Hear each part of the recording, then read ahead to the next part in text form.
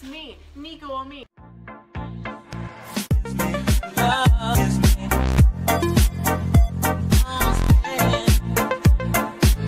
Japan as well as actually any in the world because you know what? The Switch is region free, so you can play this anywhere. But Nintendo Switch version of Monster Hunter XX, which is kind of like the Generations but extended version, is coming to Nintendo Switch in Japan. So yes, this is very, very, very exciting because it came out on the 3DS before, and now you can play it on the home console with better graphics, and you can still take it on the go just like your 3DS too. So it'll be very, very, very fun to see this on the big screen.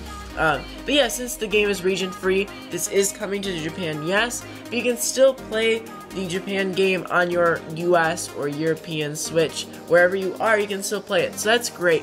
Um, another great bit of news that came with this is kind of a side effect Nintendo has hit its highest stock share value in eight years. Uh, with the announcement of this uh, title, which is really, really, really, really good. So, obviously, this is going to give good and great uh, power to the Switch, especially in Japan, because Monster Hunter is huge in Japan.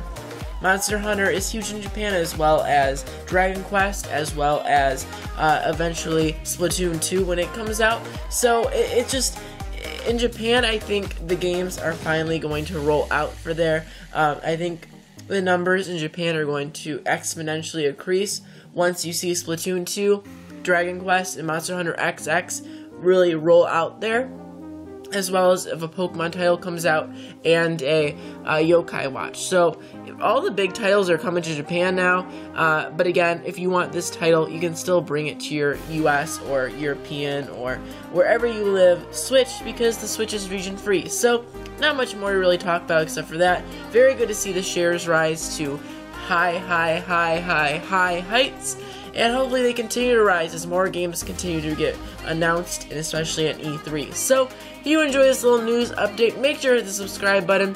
You can be here for all of the Nintendo news updates. Nico and me will be here. Thanks for watching, I'll see you in the next video. Goodbye.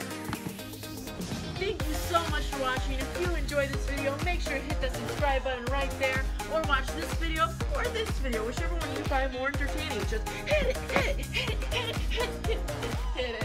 Hit it.